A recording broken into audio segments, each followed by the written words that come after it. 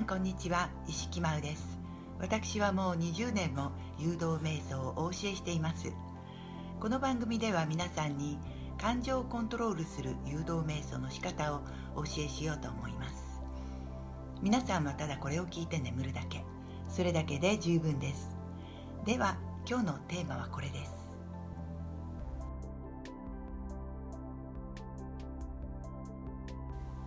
今日の誘導瞑想のテーマは自由を手放すです。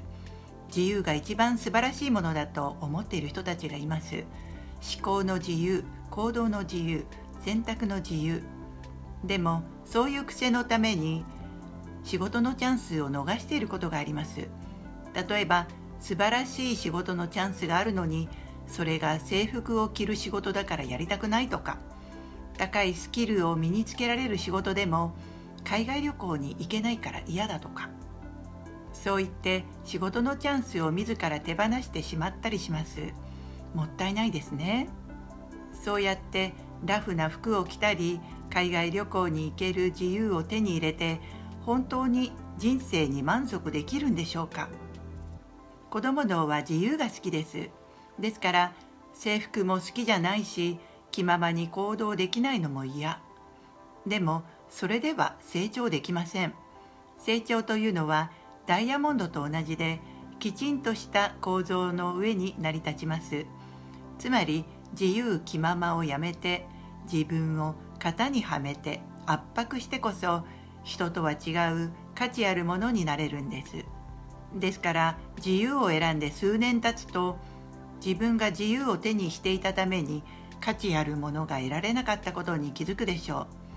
その時自分を型にはめて働くことの重要性に気づくんです。40代になったら少し急いで自由を手放した方がいいですね。ということで今日は自由を手放すという誘導瞑想をしましょう。いつものように目を閉じて自分を6歳の子供だと思ってください。そこへ大人の自分がやってきてあなたに話しかけます。あなたはずっと自由でいたいんだよね。楽な服装がいいとかいつでも旅行に行きたいとかそういう自由をいつでも持ちたいと思っているんだよね。大人の自分はそれでとても困っているよ。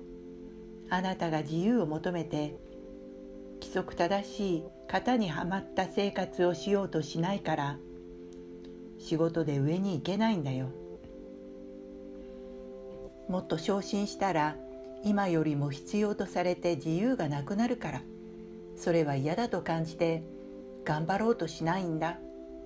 そのために結局仕事の評価は低いし自分ではちゃんとやっているつもりだけど上司から見たらいついなくなるかもしれない人だからと期待は薄い。